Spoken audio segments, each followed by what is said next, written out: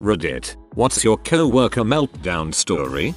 Pizza Hut manager asked one of the drivers to put on his uniform shirt. Driver flipped out and tried to set his shirt on fire in the lobby while screaming about oppression. Then he took off for some reason and drove to the airport where he jumped the fence leading to the tarmac. Got roughly arrested by the airport cops. We never saw him again. Turned out he had drank a bunch of Robitussin. Ain't no fussin' with the tussin. A manager that wasn't really my manager. When his bosses were gone, he would take one 2 hour lunches. On the clock, we were allowed a 30 minute lunch off the clock. He would sit in the management office and eat a little, read the paper, just basically not working while the store got busy. It was fairly well known by the lower workers he did this, we just didn't say anything. One day a manager of equal power from a different department confronted him about it while he had been on lunch for over an hour. He picked up his sandwich and threw it at her yelling about why doesn't he get to take his lunch in peace like everyone else. Basically just went on this rant of irrelevant stuff, then just stopped and went back to reading the paper. He was fired by the end of the day. Having had two co-workers this year promoted, despite taking up to an extra 2, 1 stroke 2 of lunch every day with no repercussions, your story was very cathartic for me. Waiting tables. He goes in the bathroom and doesn't come out for an hour. I took all of the tables for the section while he was gone. When he comes out very clearly on some type of drugs, he is angry I stole tips from him by not waiting for him to get back before I seated people. He cusses as he walks out. Came back a week later demanding the tips from the tables that he should have waited on. Sounds like drugs to me. It was probably H and he nodded out and didn't even know it. I was working in a fast food kitchen and we hired this shifty looking guy in his 50s named Chicago. His first day he started complaining because we kept him on only one task because he was new and still slow. Before we know it he was yelling, y'all just don't want me to shine. Y'all just scared. Then, he just walked out muttering that this place was too dirty to work in, we had just opened so the place was in no way dirty. Never, ever frick with a guy named after a city. They should teach this to kids in grade school. Woman kept taking off and coming in late. She was about 50. Eventually the boss called her in and asked what is going on. The woman just loses it saying it's none of their business. Boss tells her that they will have to let her go if she misses one more day or is late again this year as she missed 15 days in scheduled, used her sick time, and vacation days and was late every day by up to an hour and it was only April, and they will be docking her for those hours she wasn't here or left early. Woman starts screaming you don't have that right you can't take my money frick you just frick you. Eventually she pulled the mat on top of the desk of sending papers and the computer to the floor. Boss booked it and locked her in the room where she continued to kick holes in the drywall and break everything in sight. Security comes. They call the police. Police come go in and she started throwing stuff at them screaming that's my goddamn freaking money we were escorted off the floor and I'm guessing they tased her or something because she was taken out handcuffed to a wheelchair. Sounds like an extreme JG Wentworth commercial. I was doing carpentry work in the ghetto with another carpenter, old Jim. Some local kids were there cracking wise, being smart mouthed and just generally hanging around annoying the heck out of both of us. Old Jim yelled at them a few times. They kept it up. Old Jim got madder. They thought that was even more fun and started walking right up to old Jim and smart mouthing him right to his face. Old Jim listened to maybe two of them before he'd heard enough. He grabbed the last kid, lifted him up against a wall we were building, grabbed his nail gun and nailed through the shoulders of the kid's jacket so the kid was literally hung on the wall, dangling from his jacket. Old Jim got one inch from his face and just screamed at the kid for a few minutes, just absolutely red face screaming at him. The kid's eyes were huge, he suddenly wasn't the little smarty pants he had been a minute earlier. He was scared to death, hanging from a wall with a screaming madman right in his face. Old Jim had a meltdown. He kept it up for a full 2 minutes, just screaming an inch away from the kid's face. The kid was near tears. Finally old Jim had said his piece. He got a pry bar, pull out the nails and the kid came down off the wall. That kid's feet hit the ground and he was gone, running for everything he was worth. It seemed like he just sort of instantly vaporized the instant he hit the ground. An hour later the cops show up. Boys, sorry, but you can't nail kids to a wall. Old Jim had to pay for the kid's jacket. I'm glad it was resolved with a jacket fee. I used to work at a bookstore with two guys named Sean and Warren. Sean was a real abrasive butthole, loved insulting people and getting under their skin. And as such a lot of people hated Sean, but nobody hated him more than Warren. Warren had some anger management issues and with the way Sean kept pushing his buttons it was only a matter of time before Warren snapped. We all knew there was going to be a showdown between them at some point. We did not expect it to happen behind the cash wrap two days before Christmas in front of about a hundred customers. I was on the other side of the store when it happened and by the time I rushed over the fight had already been broken up. I don't know what Sean said to Warren but Warren had finally snapped and punched Sean and it turned into an all out brawl between the two. Since Warren had thrown the first punch we told him to go home and Sean stayed at the cash wrap. I started helping a customer find a book in our computer system when there was another commotion next to me. Warren had taken the combination lock off his locker from in back and was now bashing Sean over the head with it. I had to grab Warren, pull him off and calm him down and he finally left. I then just went straight back to helping the customer find the book she wanted and Sean went in back to calm himself down. Sean wound up quitting because he was afraid he'd get fired. I don't know if he would have, and Warren was fired. Last I'd heard of Warren he was on trial for attempted murder after he stabbed an ex-girlfriend's then current boyfriend in the throat with a pen.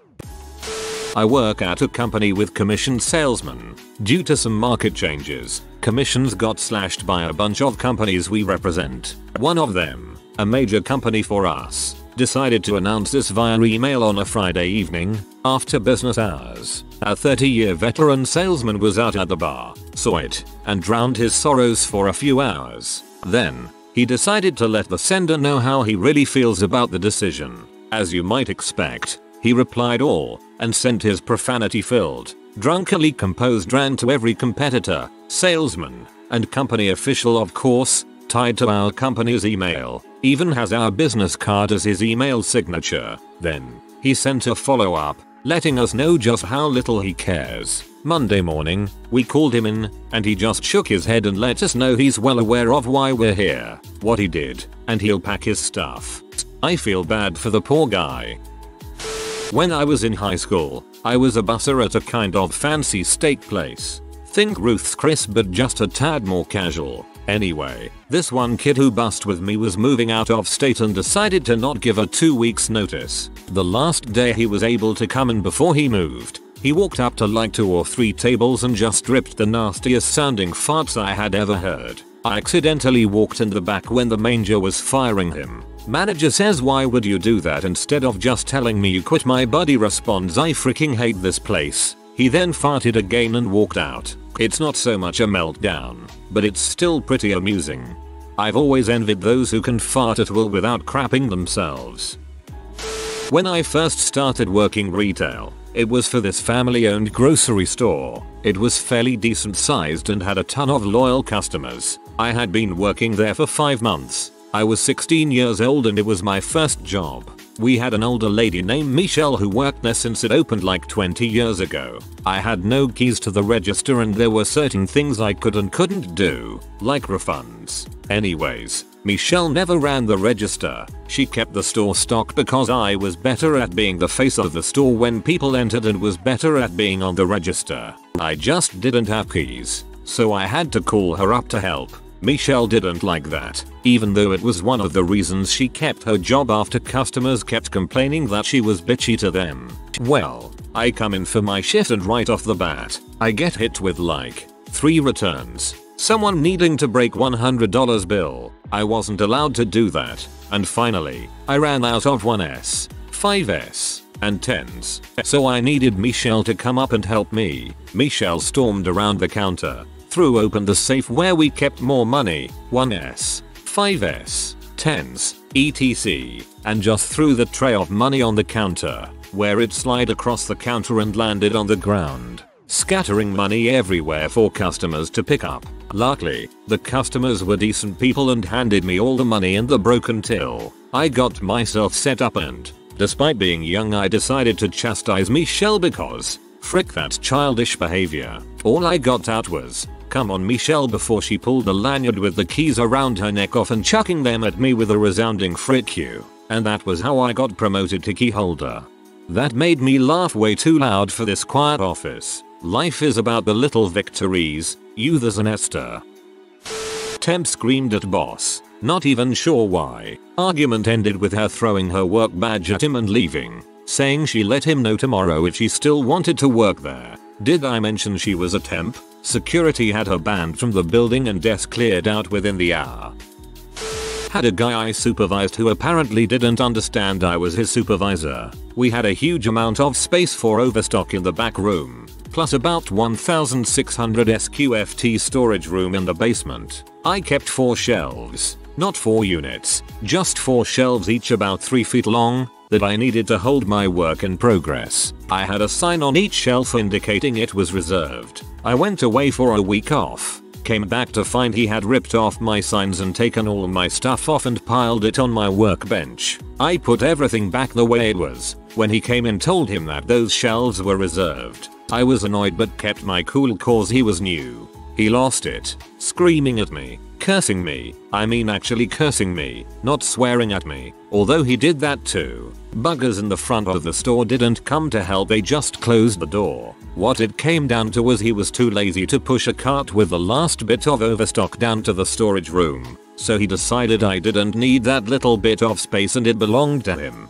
I finally told him look, I'm your supervisor. I'm telling you I need those shelves, that's it. Keep them clear. You're not my supervisor. You're not man enough. Hut, okay. Well I am your supervisor. This is the way it is. If it bothers you that much, well, you can always leave. Thinking this is over a couple of shelves. He's acting like I stole his car and ran over his dog after sleeping with his wife. He stomped out, came back in 30 minutes later with his resignation. He was in the process of being fired anyways. My manager was away that day so I documented it all and sent it to him and HR, along with all the other details. I wasn't the first person he'd freaked on but this was the worst. Found out after he'd spent that time stripping a bunch of solid copper heat sinks in the storage room. Took the copper and left the fans and stuff behind. A month later he called my manager for a reference, who gave him a good one. I looked at him, seriously that's how we got stuck with him.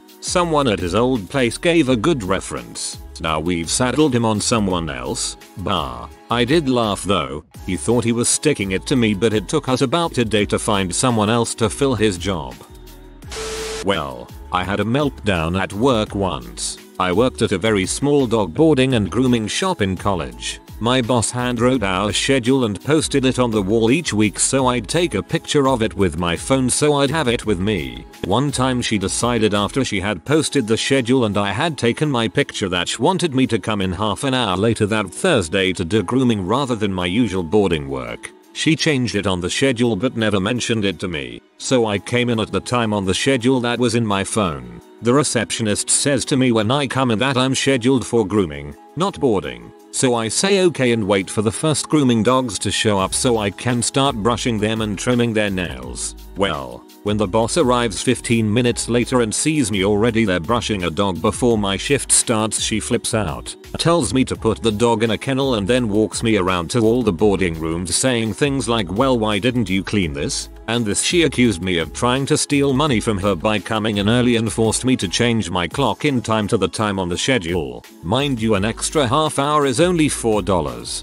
I point out that she never told me she changed the schedule so I came in according to the schedule in my phone but she just yells at me some more. Now this happened at the end of the semester when projects were due and finals were coming up so I was already stressed out. Plus this wasn't the first time she treated me like crap so I had what I can only describe as an anxiety attack mental breakdown type thing.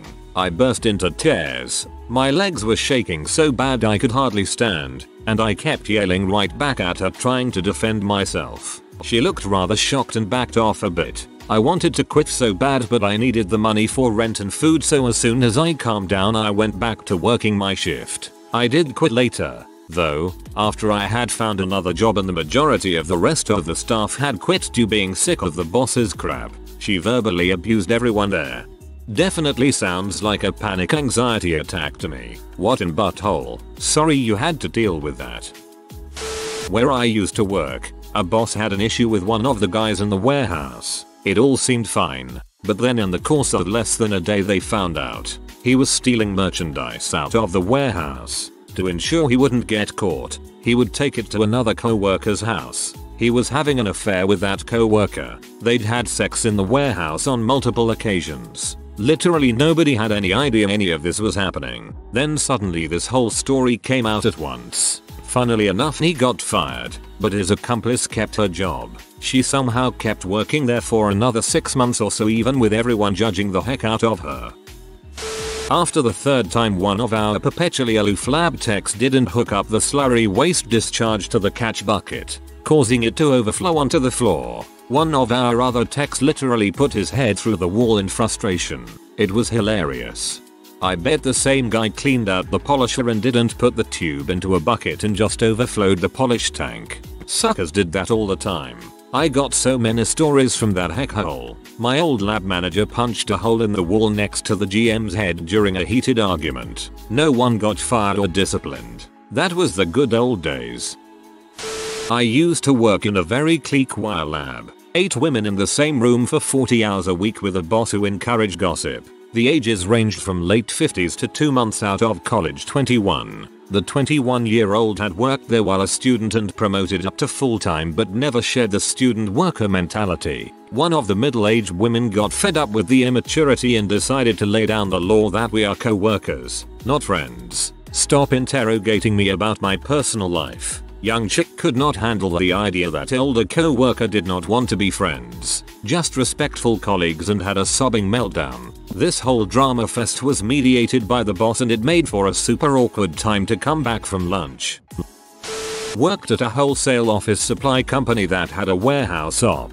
A guy was hired to pick orders and showed up to start work. Some weirdness ensued, and about the 3D day, someone else comes to report that new guy's hurting himself. He had dropped a box of razor blades, which burst open, and was picking them with his bare hands, cutting his fingers up. Manager lets him go, says it isn't working out. New guy shows up next day for work with his lunch packed and ready to go. Manager sends him home. New guy's mom comes in to plead his case. Still fired. Many months forward we hear on the news that new guy is arrested for standing in the door of his rather upscale home on Main St. Nude and calling out to the Catholic school girls. While he is in the psych ward, our company gets a visit from the Secret Service asking about new guy. Turns out he had been threatening President Ronald Reagan. I still feel sad when I think about how optimistic he must have felt when he showed up with his lunch ready to have another chance. New guy shows up next day for work with his lunch packed and ready to go. Ugh. This got to me.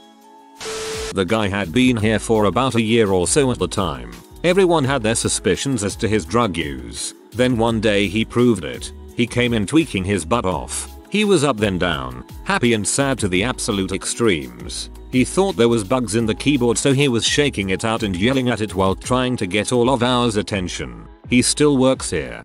Well that sure was an unexpected ending. Witnessed a co-worker get fired for showing up late. He was really in a bad mood that day. He started yelling at the manager and then kicking the back door. He broke through the door which was unlocked at the time. Then gets to his car, makes a call then races his engine and pops it into drive. He manages to run over most of the small shrubbery in front of his parking space and get his bumper hung up on a rock. Then throws his into reverse and sequels the tires until he gets free of the rock. Then starts randomly running over all the landscaping in the entire lot. At this point most of the co-workers are near the big window in front watching this. One is getting it on his iPhone. He finally peels out into the street nearly missing a truck.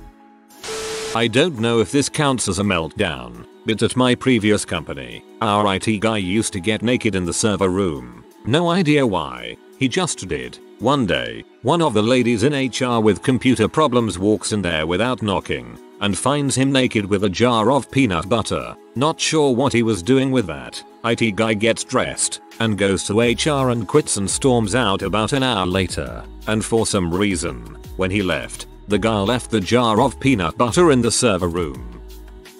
Having worked in telco tech support for a few years at the frontline and second levels, many moons ago, I saw a few of these. I wish to preface that none of these people were fired for this although many of them quit on their own accord shortly afterwards. 1. Co-worker was getting exceptionally frustrated at a customer who didn't quite understand the concept of click the OK button. After several attempts at this he yelled in a fit of anger click the fricking OK button. As I didn't reach the mute button in time the customer I was on the phone with started laughing and mentioned how it sounded like someone was having a bad day. The mute button was often your friend in co-worker meltdown stories and phone tech support. 2. Shortly after I became a second level agent, a co-worker of mine who was particularly high strung would go from 0, 100 pretty quickly. Without any warning he ended up ripping his headset off his head and yelling fuck as loudly as his lungs and larynx would allow him. The manager who was on duty at the time was a lovely woman emerged from her office just to see this employee smash his headset to pieces. He got the rest of the day off. 3. We had a gentleman working who was doing the graveyard shift. Back at the time this story happened it was done solo. He had a particularly bad phone call where a customer wasn't able to rent an adult film and was getting upset about it using language he probably wouldn't have used in a face-to-face encounter. The employee in question hung up the phone, left of the office, having made the quick decision to end his employment, threw his id in dumpster and went home to sleep. He later remarked that it was the best sleep he ever had. I was a mute button ninja at my old job. I swear those phones could pick up profanity from halfway across the office. I work at a vet hospital and we had to take x-rays of a dog's tummy because it was having diarrhea and throwing up so it had to be on its back on its it was a decent sized dog, a breed of pit bull so it was definitely a two person job. I grabbed the front legs and my co-worker grabbed the back legs and we tried to keep the animal straight and on its back. The dog then violently projectile crap on my co-worker, covering her in a 6 inch wide line from her chest to her hairline. She absolutely freaked, screaming and swearing and dry heaving and carrying on. Managed to keep the dog still for the x-ray though. We were all crying because we were laughing so hard. She would have done the same if we had been in her place. It was like laughing at a family member and not out of malice. Even she laughed about it later. Days later. I saw two stonemasons get in a fist fight when I worked construction. I was laying electrical underground pipe, and they were laying block wall. One threw a hammer at the other one and hit him in the head. Cracked his eye socket. Cops came and took our statements and the guy got arrested for assault. A guy once screamed to the whole office I was bullying him and he was reporting me to the Citizens Advice Bureau. I got so many dirty looks, but it turned out he had stopped taking medication for his schizophrenia and voices had told him I was being nasty. We ended up being really good friends and had a great time working together. I'm glad this story ended well. That must have been awful for both of you.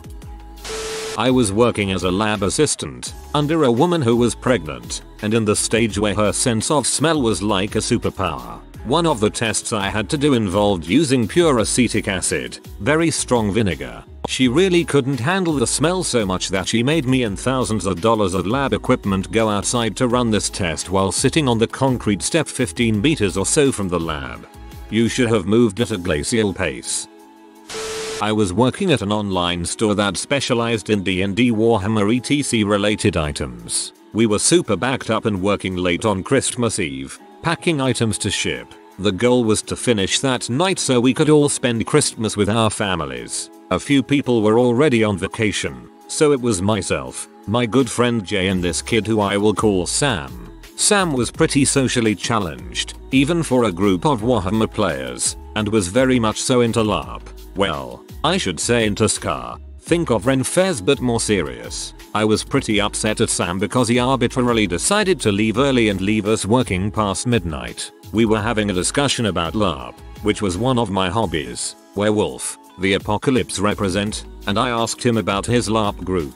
He got pretty heated and began to loudly inform me about how Scar was not LARPing. Maybe it was because I was frustrated at him making us work late, but I decided that this was a perfect time to troll. I wasn't the bully type, and I admit that I do feel bad about badgering him. Well you play fight with swords, right? As a character? With costumes? Why isn't that a LARP? And so on. Sam knocked over a folding chair and scurried out of the store. I got a pretty good laugh until this chubby 5 feet 5 inches neck bedded kid kicks open the door to the shop wearing a homemade armor bucket helmet, brandishing a wooden stick. Not a LARP. Would you like to get hit in the face by this he yelled, walking furiously towards me with the stick raised above his head. With a stick I said, trying to keep my composure. It's a freaking long sword, he said, waving his stick around and knocking over some Warhammer boxes. The stick was then pointed right in my face. I raised my hands above my head, making claws, the werewolf LARP symbol for shifting into a werewolf, watch out, I'm turning I yelled, and then emitted a howl while laughing hysterically. The little bastard smacked me with his stick and Jay pulled me back right before I made a bad life decision. Take your stick and go home, I yelled. It's a sword he yelled before walking out forever. This one was sad. I worked at a computer firm in the late 90s early 2000s. We had a female tech dispatcher who had recently had gastric bypass surgery, allowing her to once again fit into all of her 80s clothes again. We had a tech who was a good looking guy and flirted with all the ladies, but he was married with three small kids and he was an alcoholic. This poor woman had it so bad for this guy. One night, a bunch of us went out for drinks. The tech and the dispatcher got drunk and left together. Fast forward one week later and we find out that he hung himself. Fortunately, he lived, but he had suffered severe brain damage and was pretty messed up. Eventually his wife left him and the last I heard was that he was living with the other woman and she had taken over as his caregiver. Twisted crap right there. I was a manager years ago and one of my duties was to order office supplies for everyone. The receptionist decided that she wouldn't give me her list in time and so nothing was ordered for her. She finally decided days after deliveries that she needed 1000 envelopes even though she already had 5000 at her desk. There was a minimum order fee and her $7 box of envelopes didn't meet it. I told her that I'd add her envelopes to the next order, but she'd have to wait. She flipped her crap. She screamed through the corporate office about what an butthole I was and that I was trying to oppress her and get her fired by making it impossible for her to do her job. Fast forward to the following morning. I walked into my gated parking garage to see that my car was covered in eggs. There was puke all over my hood, and my windows had been written on with shoe polish. I washed everything off and went into work late. The receptionist was bragging about how she got me so good and how funny it was that she followed me home, waited for someone to open the access gate, and defaced my car. She was fired immediately. Worked at a college bookstore. We had been wearing polo shirts for our uniform but one day we got new button ups before we opened. The ladies weren't made to be tucked but the guys shirts were. I was the only guy working there at the time.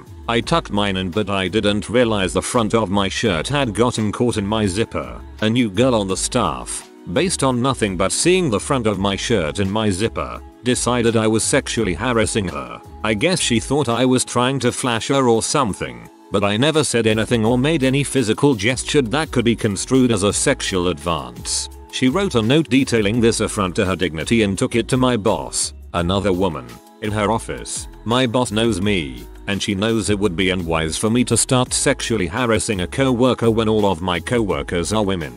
She comes out and tells me my shirt is caught in my zipper. Mortified, I go to the bathroom to fix it and I think, outside of me being a bit embarrassed, that's the end of it. At this point I didn't know about the accusation of sexual harassment. The girl was very upset that her accusation wasn't taken more seriously. She went to the bathroom for about 2 hours. Luckily it was a slow day, and comes back and starts cussing out my boss, who proceeds to take her back in her office and talk, not understanding what the frustration was about at the time. I am very confused. New girl gets fired. As she leaves she grabs about 4 packages of really crappy pens and sprints out the door. My boss explained the situation to me after she left. My dad went an entire workday with his penis showing because he wears no underwear and his zipper was down. He didn't realize it until the end of the day. No one said anything. If you are new to the channel, you can subscribe. I publish new videos every day. Until then, check another video.